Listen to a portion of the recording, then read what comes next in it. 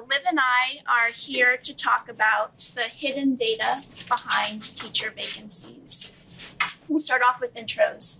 I'm Allie Bogus. I'm a product manager by trade, which means that I've spent the better part of my career building digital tools for teachers and students.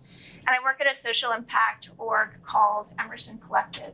In particular, I work on our technology team where we spend our days thinking about how to use technology and data to drive inspiration and innovation across a number of issue areas. Education is a central pillar for us and where we'll be spending uh, our time today. Liv. Um, hi, I'm Liv. Um, I'm a first grade teacher. Um, this is my second year of teaching, so I'm very new at this. And so um, I was a teacher looking for vacancies um, about two years ago, more like a year and a half ago. Um, and so I will be talking a little bit about my experience um, finding a job um, in the DOE. Uh, we'll start off with a bit of a, an orientation into the data landscape behind teacher demand in general and teacher vacancies specifically. We'll spend a little bit of time introducing you all to an early stage product innovation called WorkInEd, which is one of the first tools to develop real time teacher vacancy data across the country. We'll talk about some early insights that our team has surfaced as we have spent some time getting uh, introduced and used to this data. And then, last but very much least, we will turn the conversation to a New York City lens. This is New York City Open Data Week after all, and this will be a conversation between Liv and I, where Liv talks about what it's like to be a teacher in an era of teacher shortages and how the data that we'll talk about here might have impacted Liv's job search a few years ago and how it might impact her career going forward. Okay, so it's perhaps to no one's surprise that the talk about teacher vacancy data talks starts with headlines about teacher vacancies.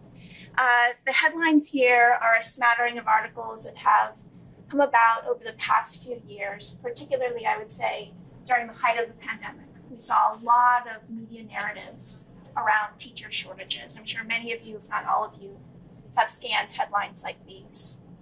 We've never seen it this bad. America faces a catastrophic teacher shortage. There's a ton of truth to that. And part of the reason why I'm so glad Liv has joined this conversation is because the best sort of folks to bear witness to what it's like to be amidst a teacher shortage is to ask the students and teachers who are living that every day. And so in the back half of this conversation, Liv will talk about what that's like. I also posit that there is an unstated truth behind these headlines, and it comes out in a few ways.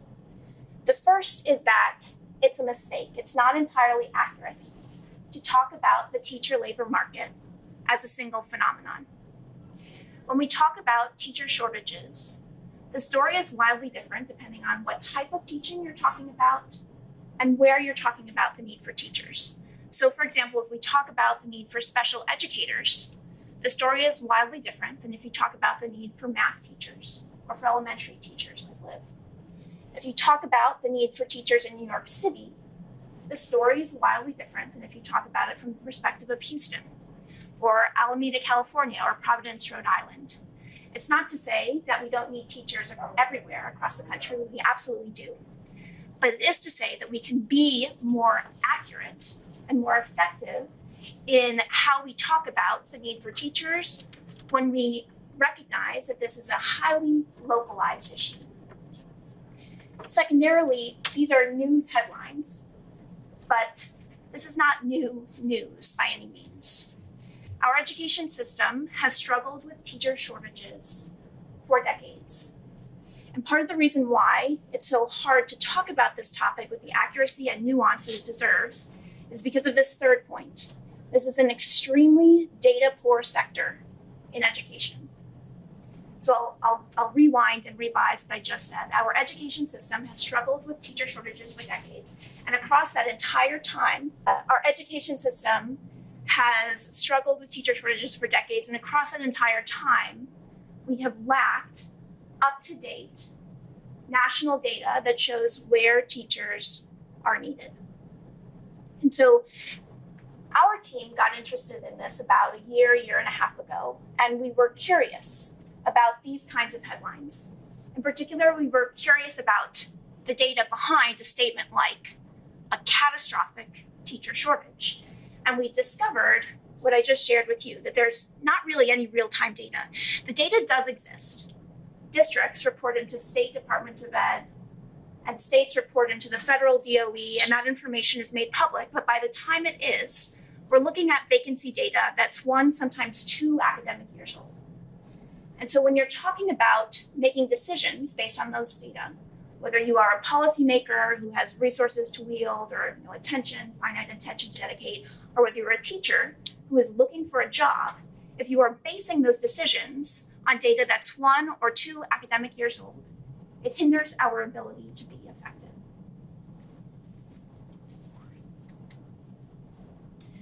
Over the past year, the team that I work on has been working on a tool that we call Work in Ed, which we like to frame it as a national heartbeat of teacher vacancies.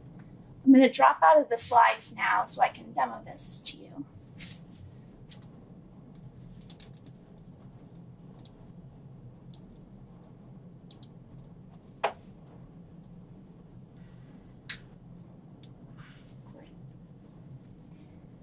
So WorkInEd is a public website, workined.org, if any of you want to visit it. Uh, I'll note that um, the data that you see here is reflective of active teacher job postings across the country. And we collect this on a weekly basis for what you're seeing here is reflective of 45% of public school districts across the country. So it is a work in progress. These districts represent about two thirds of students nationwide. So as needed to prioritize, we focused on some of the larger districts where we want to represent more students. Along the left side of this platform, you can see that we can filter by grade, by subject, or by hiring timeline. So let's say that I wanted to look at special educators across the country, the need for them. I can filter by that, uh, and I can zoom in. And what we're seeing here is an interactive map. So the data is going to change and become more granular as I zoom in and let's look at the tri-state area. This is, we're in New York City after all. Um, we don't have data for New York City Department of Ed, a point that I'll return to in a moment. But let's look at, for example, Newark, New Jersey.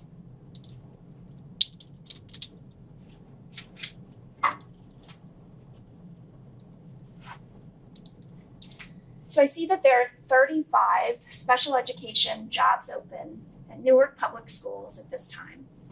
This data is collected, like I mentioned, on a weekly basis, and we do that collection on the weekends. So Saturdays, so it's happening right now. So the data that we're looking at is reflective of last Saturday's collection. Still pretty accurate.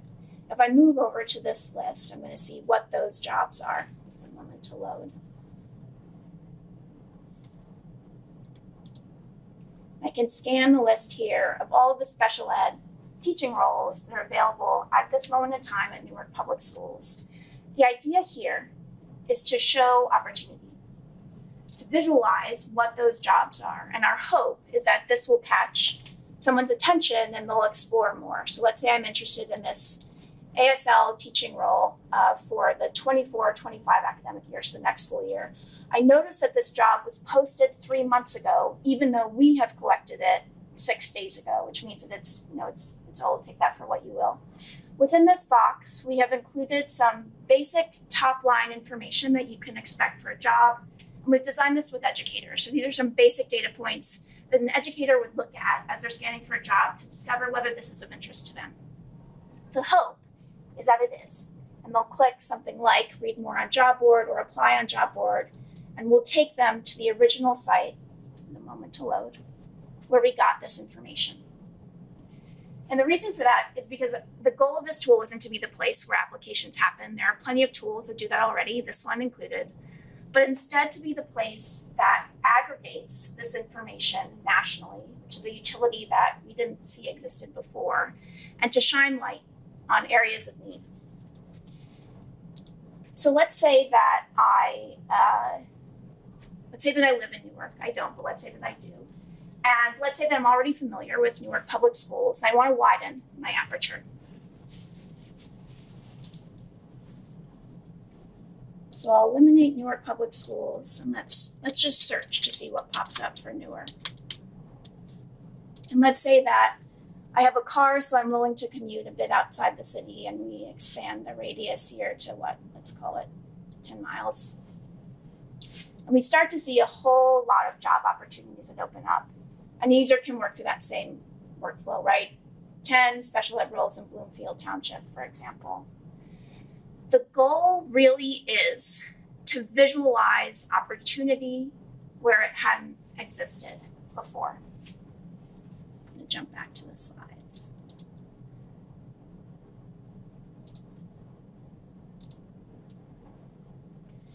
Because what we realized is that when you're able to solve for the data piece, suddenly what was a data gap or a data challenge turns into an opportunity.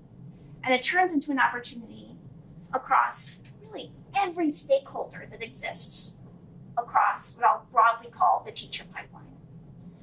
Let's start with the Livs of the world, the teachers. When we're able to solve for the data piece, we're able to influence and empower teachers to find a job in teaching and to stay in the profession. I want to double click on the last part of that phrase for a moment staying in the profession. Usually, when we talk about teacher retention, we're talking about it from the perspective of encouraging a teacher to stay in their school building for many years. And there's a lot of truth to that, right? There's a lot of importance that comes with continuity for a teacher, for students, for a school building. But we also recognize the truth that sometimes that's not sustainable. Sometimes the teacher has to leave the school building, and oftentimes they are leaving the profession when that happens.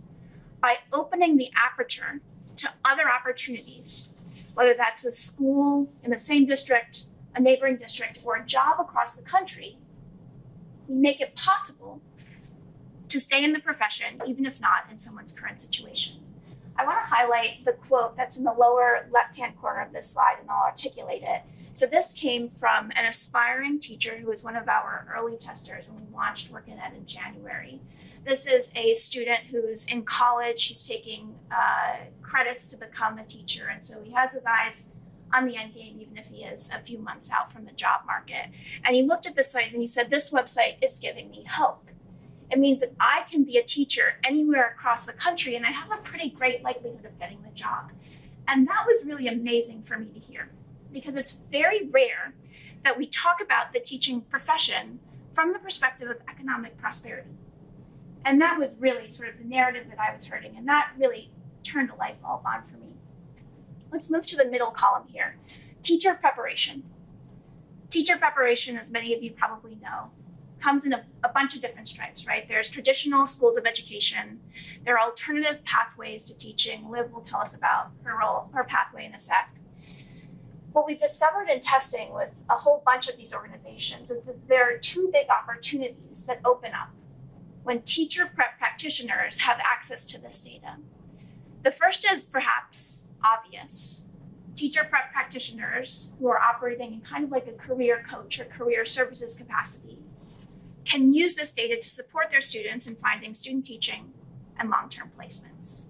And that's particularly resonant because we know it's well documented that most teachers will end up teaching within a 20 to 40 mile radius of where they themselves went to school. And so to have visibility on what the jobs are in proximity to a program where their teacher is learning to be a teacher means that you're probably finding jobs that are of greatest appetite to those individuals. A second opportunity uh, we discovered in testing with teacher prep folks, and that was in terms of the partnership that can be built between prep and districts. So when we're talking about teacher shortages, we're talking about an already existing need on a district, right? It's it's it's a bit too late. It's after the fact.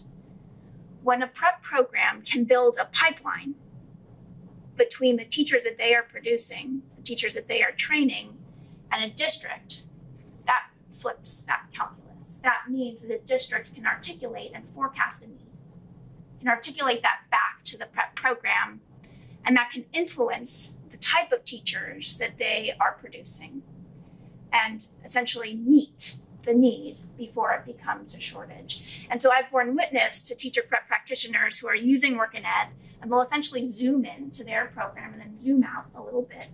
And they'll look at the districts around them and they'll scan the jobs that are open there. And they'll use that as sort of intelligence of, oh, here's a need in our community, or here's a district whose door I can knock on and see if there's a partnership to develop there. And that's the sort of behavior that turns shortages into a strategy that we can use to preempt that situation from happening in the future.